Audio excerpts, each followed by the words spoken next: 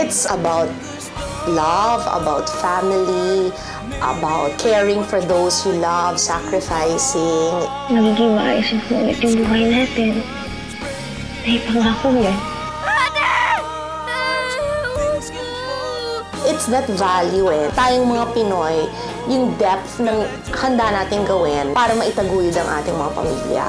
It's a very Filipino story. Love me again! Now, in his third week,